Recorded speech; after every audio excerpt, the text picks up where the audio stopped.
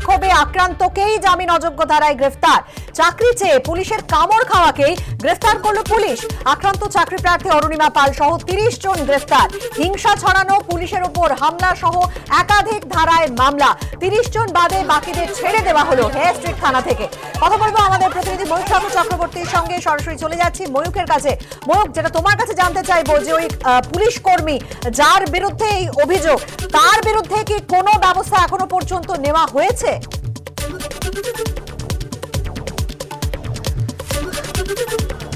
দেখো, আমরা সকাল থেকে লালবাজারে কলকাতা পুলিশের যারা শীর্ষকর্তা, তাদের সঙ্গে টেলিফোনে যোগাযোগ করার চেষ্টা করেছিলাম যে ইভা থাপা, যে মহিলার বিরুদ্ধে যে লেডি কনস্টেবল যিনি ডেপুটি কমিশনার সাউথ, তার ট্যাগ টিমের হয়ে কাজ করেন। এই ট্যাগ টিম হচ্ছে ডেপুটি কমিশনার সাউথ, যখন কোনো ল অ্যান্ড অর্ডার ডিউটি করেন বা কোনো ভিআইপি মুভমেন্টে ডিউটি করেন তখন তার একটা টিম থাকে যেখানে প্লেন ক্লথে পুলিশ কর্মীরা থাকেন এবং সেই রকমই একটা টিম কালকে ডিউটিতে ছিল, যার মেম্বার ছিল ইভা থাপা, যিনি কলকাতা পুলিশের লেডি কনস্টেবল তাকে দেখতে পাওয়া গেল এবিপি আনন্দের ক্যামেরায়, তিনি দৌড়ে গেলেন এবং অরুণিমা পাল বলে এক চাকরি প্রার্থীর হাতের মধ্যে কামড়ে দিলেন। সেই ছবি ধরা পড়ল, পুলিশের পাল্টা সাফাই এলো যে ইভা থাপার হাতে আগে অরুণিমা কামড়েছেন এবং তার medical report S S SSKM হাসপাতালে তৈরি হয়েছে। এস এস এসএসকেএম হাসপাতালে ইভা থাপার ট্রিটমেন্ট চলছে। অরুণিমা পালকে প্রথমে অ্যারেস্ট কর ডিটেন করা হলো। হেয়ার স্ট্রিট থানায় তাকে টেট ব্যাক ইঞ্জেকশন দেওয়া হলো। তিনি দফায় দফায় দাবি করলেন, ফুটেজেও দেখা গেল যে তার হাতে কামড়ানোর জন্য ইঞ্জুরি মার্ক রয়েছে। সেই ইঞ্জুরি মার্কের রাতে ব্যথা হচ্ছে, তার জন্য তাকে আবার মেডিকেল কলেজ হাসপাতালে নিয়ে যাওয়া হলো।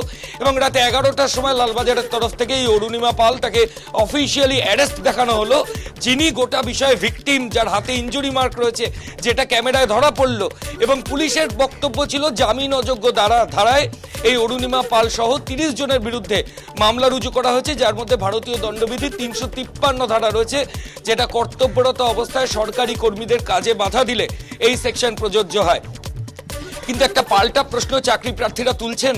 তাদের যেটা দাবি যে পুলিশ আধিকারিকরা একটা ফুটেজে দেখা গেল না, শুধুমাত্র অভিযোগের প্রেক্ষিতে মেডিকেল করিয়ে, একটা কমপ্লেন লজ করিয়ে একজন মহিলা ইনজিওর্ড অবস্থায় তাকে অ্যারেস্ট করে নিলেন। তার এগেনস্টে জামিন অযোগ্য ধারায় কেস করলেন।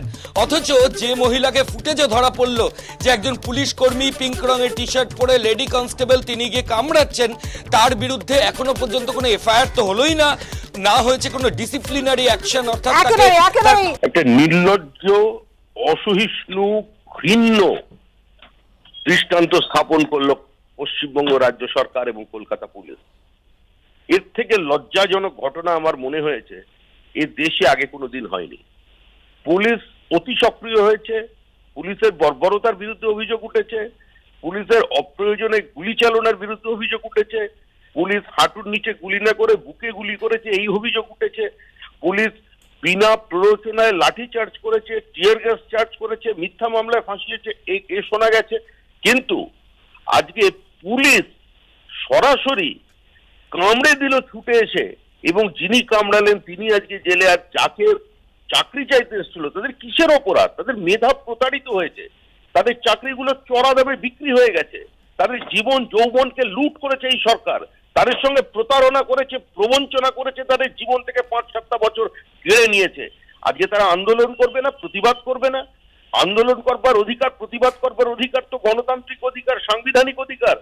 কিন্তু সরকার তো এই আন্দোলনকে প্রশমিত করবার পরিবর্তে মিথ্যা আশ্বাস দিয়েছে, মিথ্যা প্রতিশ্রুতি দিয়েছে, রক্ষা করতে পারেনি, এখন লাঠি চালিয়ে এই আন্দোলনকে সম্পূর্ণ বন্ধ করে একটা আইনি প্রক্রিয়ার মধ্যে ঢুকিয়ে গিয়ে আসলে নিয়োগটাকে বন্ধ করতে চাইছে। কারণ এদের চাকরি দেবে, দিলে মাইনে দিতে হবে, সেটা দেবার ক্ষমতা এই মুহূর্তে রাজ্য সরকারের নেই। তারা ইতিমধ্যেই সুপ্রিম কোর্টে টিএ মামলায় হলফনামা দিয়ে জানিয়ে দিয়েছে যে তারা দেউলিয়া, তাদের কোষাগারের অবস্থা অত্যন্ত খারাপ।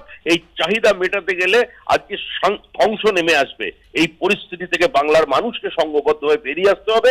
শিক্ষার অধিকার, আমাদের সাংবিধানিক অধিকার, এই অধিকার থেকে আজকে আমরা বঞ্চিত হয়ে যাচ্ছে পশ্চিমবঙ্গের সমস্ত ছেলেমেয়েরা এবং যেভাবে এই ঘটনা ঘটালো, যে পদ্ধতিতে আক্রমণ করল পুলিশ এবং তার যে নির্লজ্জ দৃষ্টান্ত স্থাপন করল, আমার মনে হয় একে একে সমালোচনা করবার মতো ভাষা মনে হয় কারোর কাছে নেই।